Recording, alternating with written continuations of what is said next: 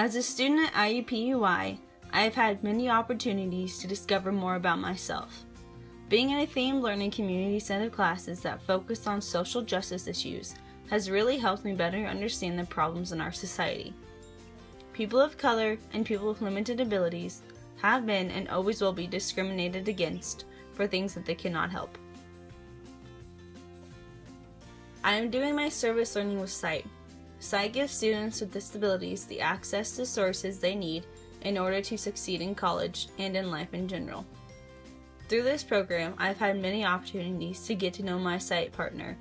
She's a sweet, fun loving, and caring person.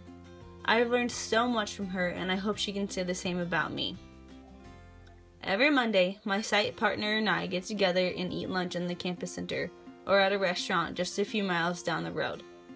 During our time together, we talk about school, family, friends, and just about anything else we want to talk about that day.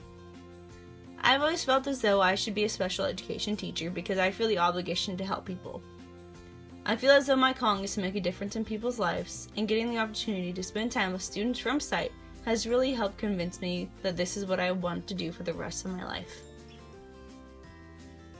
I'm not quite sure as to whether or not I want to work in a general education classroom, a special education classroom, or to do something completely different and become a speech pathologist.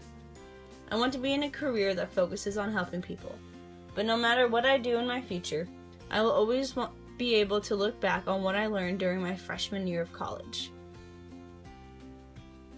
I've been raised to treat others as I, I would want to be treated, and that is really emphasized in my social justice classes. One of my classes in my theme learning community really puts emphasis on giving students equal opportunities to show what they know rather than grading them based on what they should know. It's not fair to treat students equally, and I know this from personal experience. Students need to be able to prove what they know besides showing it on a test that is created for all of the other students in their class. For example, the I-STEP is geared towards the entire grade level.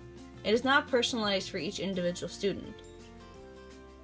As much as I would like to agree that every student has their own way of learning, I know that most people don't see the reason behind giving a student their own personalized learning plan. Because that means that the teachers have to make a personalized learning plan for all their students, otherwise, it is not fair and if they do this, it will inconvenience them. I say, if you are inconvenienced by helping a student succeed, then the teaching profession is not for you.